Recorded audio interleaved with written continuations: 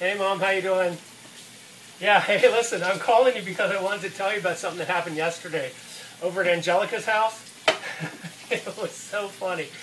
Uh, I was over there visiting, and the kids were out in the yard playing, and she told them to come in, but there was a uh, big puddle behind the back door.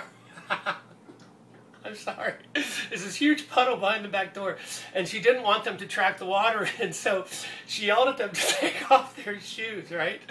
And they're starting to come in one by one. Little Lucy stops at the door, and you know how Lucy is, right? Lucy stops at the door. Oh God! she goes. Hey, hey, hey, hey, mom!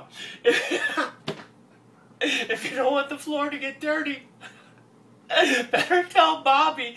He, he needs to, uh, um, I know, I'm sorry, if you want to, no wait, better tell Bobby to take his shoes off before, oh, it was so, oh wait, I'm sorry, no, I'm forgetting it, it's, uh, oh, I had to get her exact words, that was the funny, Bobby was so mad, he should have seen his face, she said, Oh, I wish you could have been there. It was so funny. Oh, oh man, I'm sorry. I can't remember it. I'll have to, uh, I'm sorry, I'll have to think about it and call you back.